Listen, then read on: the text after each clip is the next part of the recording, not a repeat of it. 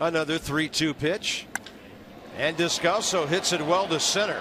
Harper back in a hurry, and he bangs into the wall after another outstanding running catch. Just name your ballpark. He keeps getting it done. I mean, fearless, right? The wall is coming. Descalso got all of this ball. You're talking about a guy with just four home runs this year. Best bolt, Bryce Harper running back.